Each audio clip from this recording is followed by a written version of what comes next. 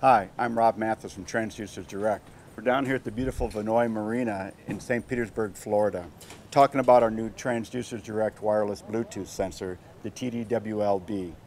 It has a wide range of applications, including marine applications for air conditioning, water pressure, uh, oxygen monitoring, pools, uh, industrial gases, a wide range of applications where we need constant reading of a transducer, but without any wires attached.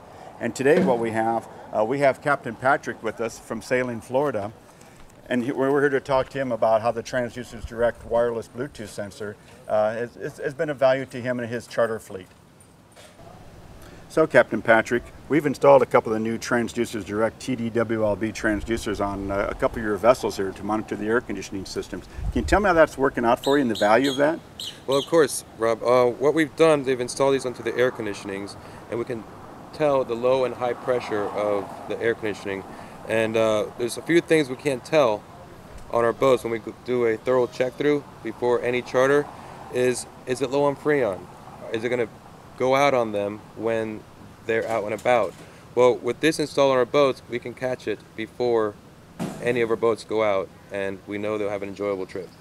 So what happens is that when people, it could be marginal, what you're saying, the, the freon level actually could be marginal, and they could actually be out anchored off someplace or pull into a new marina, and all of a sudden their air conditioning's not working. And I'm guessing down here in southern Florida in the summer, that could be a problem when the air conditioning's not working well in your, for, your, uh, for your charters. That is true, especially in the summer times when our air conditionings are going full speed. It's, it's, they're under lots of pressure and they're trying to keep everything cool and keeping everybody from sweating. So that's, that's how that works. So it, will work great for all, all our boats to have, have it installed.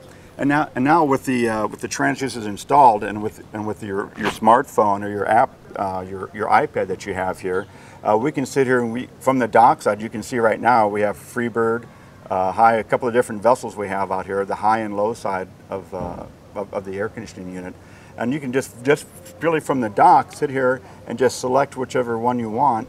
Uh, and actually start getting getting readings, and actually will send off alarms as well if any of the uh, if any of the pressures are low. And, and, Patrick, can you tell me about when, when the boats go out, what, what do you guys go through? Do you have like a checkout procedure that you have? Yes, we have a checkup procedure. It's like checking the oil levels on the boats, the fuel levels, uh, everything as, as much as we can that we can see. But there's a few things that we can't tell, like our air conditioning, if you're low on freon or and stuff like that.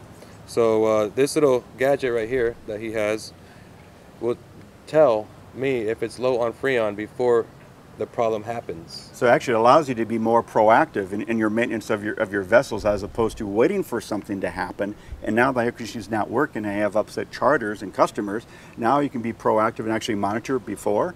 Yes, uh, it's simple as grabbing my iPhone or my iPad and this is connects through a Bluetooth, through an app, and I can just click on the vessel and then it tells me the pressure that's in the air conditioning and what we have is the, is the app that you guys now use. Uh, so again, through your smartphone, like you said, or on an iPad, is that what you're able to do now is walk up and down the dock and actually stop in front of a boat and actually check the, the freon level like we see right here. Uh, we can check, we can actually click on this one. It'll actually start con connecting, it starts communicating.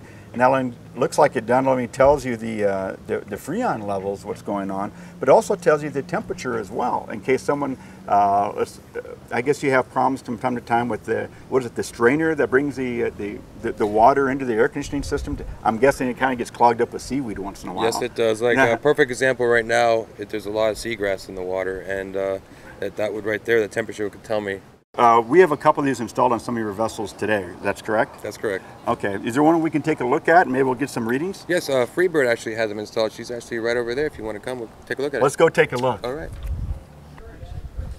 Well, here we are with uh, Freebird, one of the vessels we have uh, this installed on. So this, and, this is one, one of the vessels in your fleet. you have 30 boats or something like that? Correct. correct. Okay. And uh, it's connected and it's on right now, the air conditioning, and it's talking to the iPad through Bluetooth. Okay, and right now, what we can see here, we can see Freebird um, aft AC high and Freebird aft AC low. Um, so you can, looks like what we can do is that we can actually sit here and we can actually name each transducer. So as you come up and on your dock, and let's say you have multiple ones around here, you can actually see the boat and the and the air conditioning system that it's on.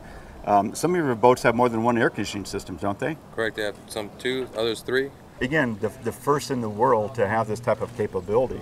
And the bat and there's a replaceable battery inside here, Patrick, that actually lasts 18 to 24 months, depending upon usage. So it's not like you, you got to replace batteries, you know, every month or two. It really has long life, and you can see there's a little drawer in the back. The battery actually just slides out, slides back in. Everything remains inside the transducer, as far as the name of it that we talked about, um, the serial number, and everything else. Very much for your time Thank you, today, um, and, we- and we look forward to uh, to continue supporting you and your, and your charter fleet and keeping your, a bunch of happy charters. Thank you so much. Again- And uh, I'm taking this one with me. Okay, thank you. For more information or to discuss your application, please contact our technical support team. We'll be glad to help you improve performance while lowering your costs.